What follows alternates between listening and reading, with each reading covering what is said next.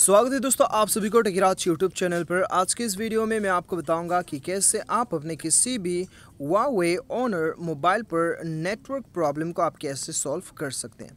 तो दोस्तों, यहाँ पे देखिए, हमें जो है कभी कभी अपने वावे ऑनर मोबाइल पे नेटवर्क शो नहीं होता है और कभी कभी जो है हमें यहाँ पे हमारा जो नेटवर्क होता है, बहुत ही कम हमें शो करता है, ठीक है? और नेटवर्क होने के बावजूद भी हमें यहाँ पे डाटा कनेक्शन इंटरनेट कनेक्शन का प्रॉब्लम्स वगैरह फेस करने के लिए मिलता है। तो दोस्तों, यहाँ पर आपका मोबाइल में नेटवर्क से रिलेटेड जितना भी आपका प्रॉब्लम है, उसे आप कैसे फिक्स कर सकते हैं, इस वीडियो में मैं आपको बताऊँगा स्टेप बाय स्टेप वीडियो के साथ बने रहिए, साथ ही साथ चैनल को भी सब्सक्राइब कर लीजिएगा। तो सबसे पहले आपको जाना है अपने मोबाइल का सेटिंग्स पे। सेटिंग्स पे जाने के बाद में दोस्तों, यहाँ पे आपको क्या करना है, सबसे पहले तो आप अपना मोबाइल का फ़्लाइट मोड को एक बार ऑन कर दीजिएगा।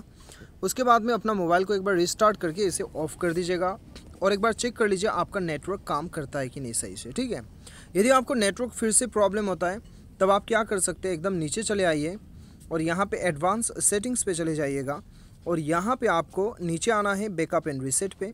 उसके बाद यहाँ पे आपको शो होगा नेटवर्क सेटिंग रीसेट इसके ऊपर क्लिक करना है और यहाँ पे नेटवर्क सेटिंग रीसेट पे क्लिक करने के बाद में यदि आपके मोबाइल में पासवर्ड है तो पासवर्ड भर दीजिएगा और नीचे आपको नेटवर्क सेटिंग रीसेट पे क्लिक करना है। जैसे आप यहाँ पे क्लिक करेंगे, क्या होगा कि यदि आपने आपका नेटवर्क कनेक्शन का जितना भी सेटिंग्स वगैरह हुआ है, वो आपने छेड़खानी करके रखा है तो क्या होगा कि वो कंपनी की तरफ़ से जो बाय डिफ़ॉल्ट आता है नेटवर्क का सेटिंग्स उसी पे आपका सेटअप हो जाएगा रिस्टोर हो जाएगा और आपका नेटवर्क कनेक्शन प्रॉब्लम जो है वो आपका नेटवर्क का जितना भी प्रॉब्लम है वो सॉल्व हो जाएगा ठीक है?